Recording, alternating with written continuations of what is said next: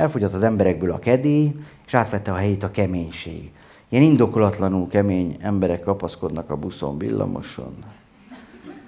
Ilyen kis Clint Eastwoodok.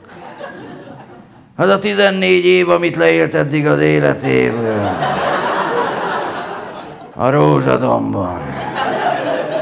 A Playstation előtt az megadta neki azt a keménységet, mint nagyapáinknak a donkanyar. És itt van például a rap. Ez egy rendkívül kemény műfaj. Az először is tartozik egy ilyen széles szájú beszéd. Valahogy szírik a szavakat a foguk között, nem tudom mi a faszér, de ez mondja, mert suck motherfuck, motherfuck, motherfucker. Ez még megy a kézrázás, mint a taknyot rázna le a kezéről, mert suck motherfucker. Kell egy olyan testtartás, mint hogyha egy zsák krumplit raktak volna a tarkójára. Tehát mondja, suck motherfucker, motherfucker, motherfucker.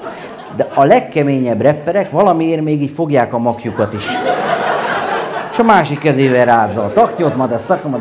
A gyerekem szokott így áldogálni, mikor nagyon kell neki pisilni, de annyira jót játszunk, hogy nem akar kimenni. Na, hát ez úgy van, És ez még tartozik a rapper divat is, ami úgy néz ki, hogy egy 4 méteres néger ruhájában van egy 12 kilós gyerek. Olyan, mintha a ruha magától sétálna a megállóban. Érted? Azt hittem, hogy valaki ott hagyta a tornac utcát, erre fölugrott a buszra. És hogyha két ilyen rapper találkozik egymással, fél óra, mire megfogják egymás kezét. Nem? De csá, csá, törzsi jelek.